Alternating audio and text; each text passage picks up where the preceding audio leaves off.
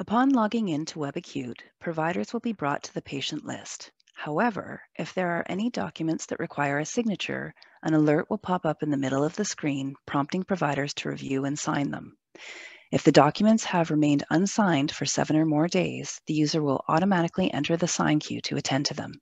Providers can still bypass this step by clicking No for the alert or by clicking on the Home icon in the top left corner of the screen, which will bring them back to the patient list. The physician can also view and access their My Workload section of the chart. It is located on the right side of the patient list screen and is broken down into various categories. Items that are high importance are designated as such by a red exclamation point symbol, and unread items appear in blue. To access a patient's chart, the provider can either click on the patient's name, which will bring them directly into the chart, or click on the patient's status board and then click the chart icon as shown in the video. Providers will be brought to the Summary tab of the chart. From here, the user can view other available chart tabs, various widgets, which are categories of information that can be collapsed or expanded based on viewing preference, and the reference region, which is located on the right side of the screen.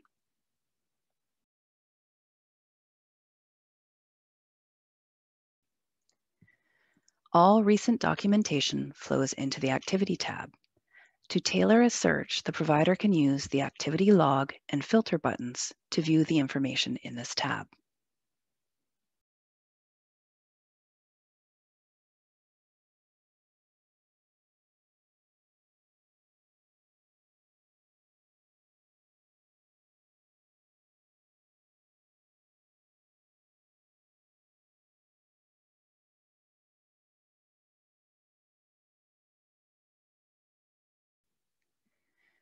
Within the Flowsheets tab, the user can select relevant panels or results to review, graph, and compare. Panels pull information from various assessments and medication administrations for patient visits and can be favorited by physicians if desired. To favorite an item, the provider will click on the yellow star beside the panel title, which will turn yellow to indicate that it is now a favorite.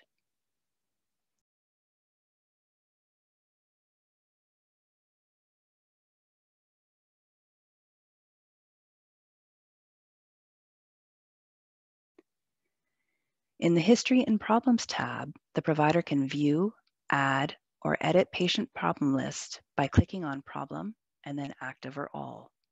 Please note, users cannot add or edit patient medical, surgical, family, and social history. Within the Administration tab, previously referred to as Review Visit section in the PCM, users can view information related to selected visits or all visits. This information relates to patient demographics, insurance information, legal indicators, and appointments. The Other Clinical tab contains information on patient allergies, their care team, forms, substance use, letters, workload items, order list, and personal notes, which flow to the sticky note on the patient status board. The Diagnostics tab is where providers will find all reports, scanned correspondence, and documents. Providers again have the option of tailoring the data viewed by using the activity log or filter buttons.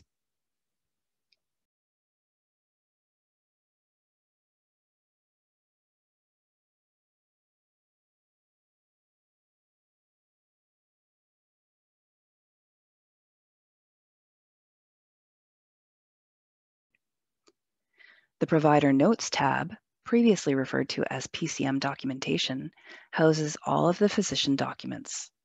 Find and read physician reports, assessments, consult notes, referrals, and correspondence. Providers can open and access documents to edit or sign from this tab as well by clicking on the page icon and can tailor their view using the activity log and filter buttons.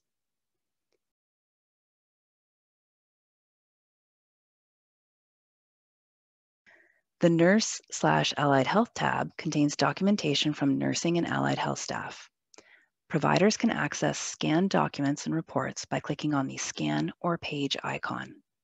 Providers can tailor information viewed using the activity log or filter buttons.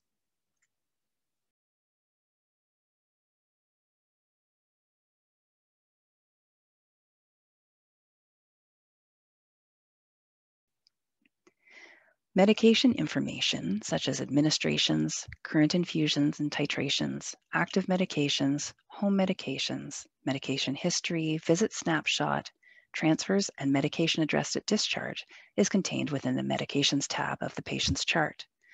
Providers can also tailor their search by clicking on the Category button, which offers additional options for viewing the information contained in this chart tab.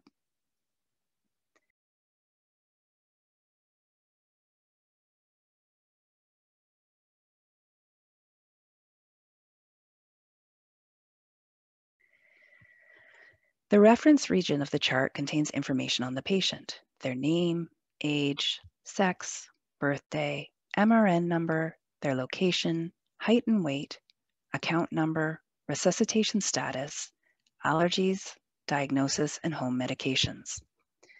Providers can also use the search chart box to search for any queries related to the patient.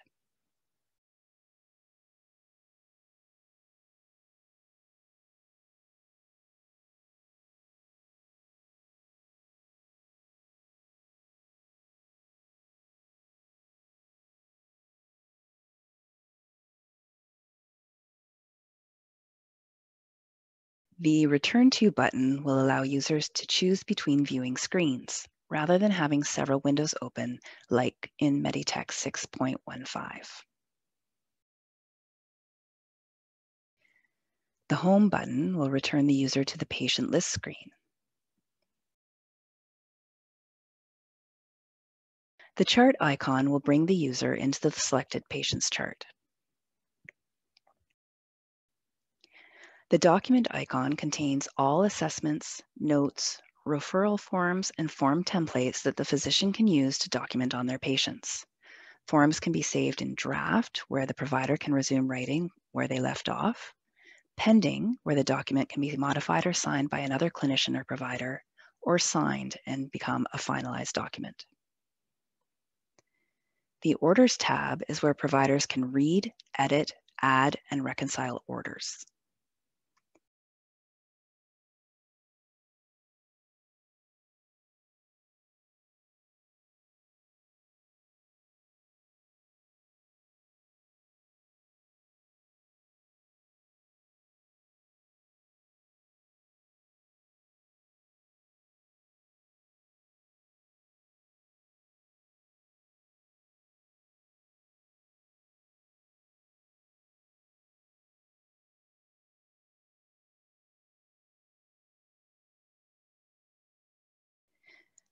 The Discharge tab is where outpatient providers only will enter their patient prescriptions.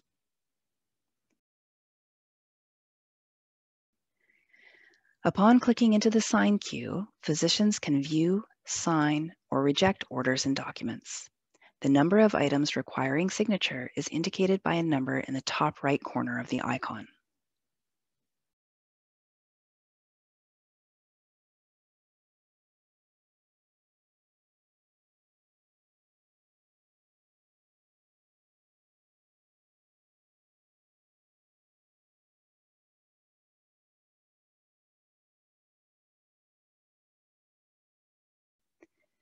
The Workload tab is where providers can view their messages, which will be divided into numerous categories.